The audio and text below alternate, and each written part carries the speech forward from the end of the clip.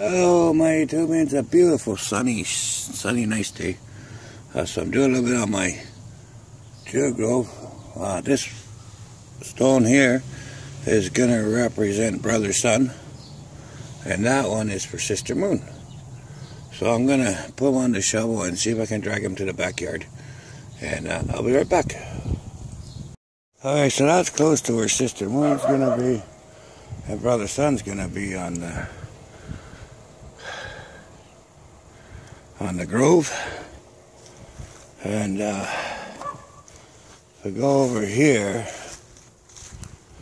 I don't know how many slabs there are, but there, there might be four of them. And if there is, I might use those either for the, I think probably for the four winds uh, which we don't talk about very often, but I should do a class on the four winds sometime. Uh, and over here, I got a couple more slabs I can use. There's a lot of slabs around here. I didn't even know they were here.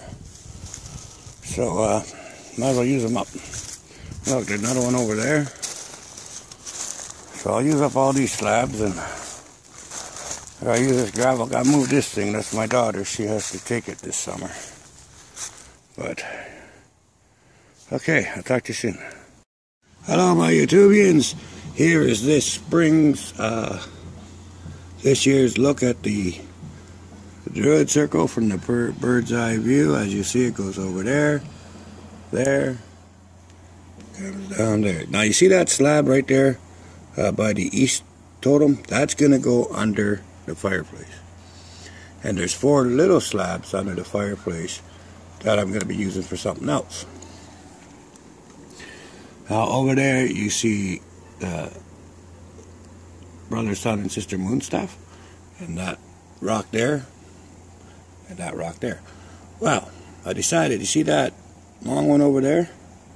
I'm going to put it beside the sister moonstaff, and that one's going to be Mother Earth. Then that little one right down there is going to go beside Mother Earth towards the south side, the south uh, totem. Um, and that's going to be Sister Moon. And then I got to find another one, probably that big old rock down there. That'll be Sister Lake. We'll go beside that, and then it'll be uh, the south totem. On this side, if you see this side, uh, that brick in front of that chair, that's going to be Father Earth.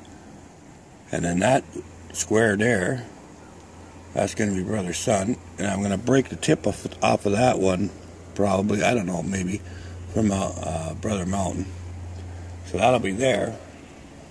And then we'll go from there. But that, that's my plans up to right now. Uh, eventually, that's what it's all going to be there anyway. So, until tomorrow or the day after that, we'll talk to you soon. Bye-bye.